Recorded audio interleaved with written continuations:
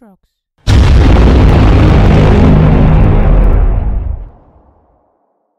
Ha det sammen, det er meg. Mur... Nei, det er meg, Markus. Eh, velkommen til onsdagsepisoden av 20 000 subscribers. Uh, sjekk ut forrige video, da snakka jeg med dere på Omegle.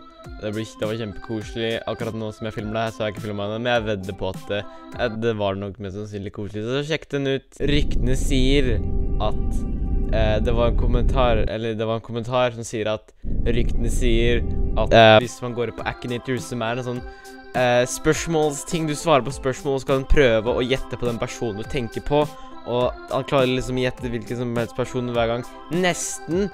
Eh, og nå, som den kommentaren sa, så klarte han å få meg der. Og det syns jeg er ganske stort, så det, det tenkte jeg å prøve at jeg måtte finne ut av det selv.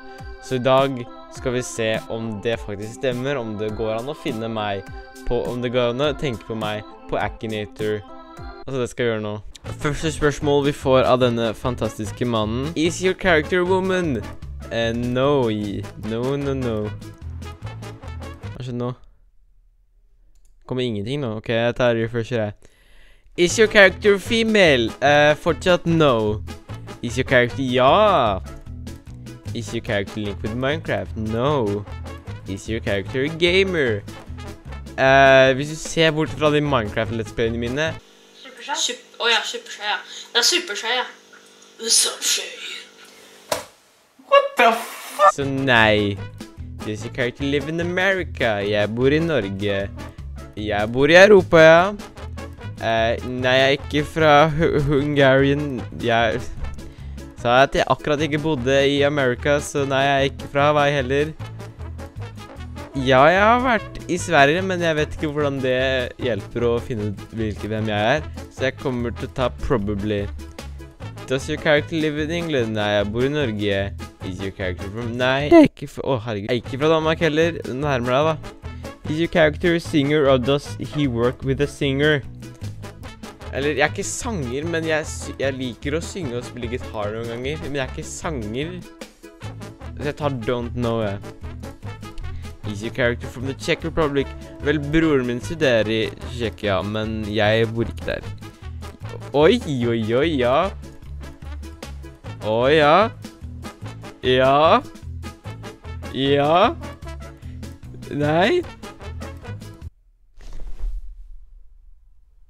The fuck?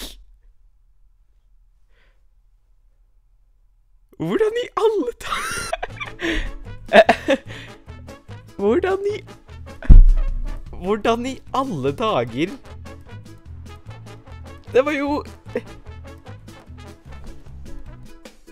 Er det kattespørsmålene som gjorde det? Jeg trodde den videoen skal være sånn 20 minutter i å prøve å få meg til å være på Akinator, men det var jo, varte jo bare sånn fem minutter. Jeg vet ikke det engang, sikkert to minutter. Og det var skuffende. Jeg trodde den videoen skulle være litt mer eh, underholdende. jeg. Ja, ja, og tatt opp i sånn snart tre minutter. Det var ingenting. Det var alt for nå. Tusen takk for at du så på denne videoen.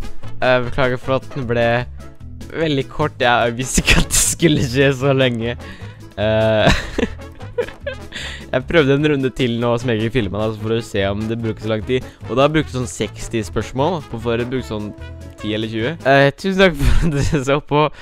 Eh, vær så god, prøv det ut for dere selv om dere kan klare å gjette meg. Tusen takk for så på. Eh, sjekk ut forrige videoen min, og ha det bra. Can I be anybody that I want to be?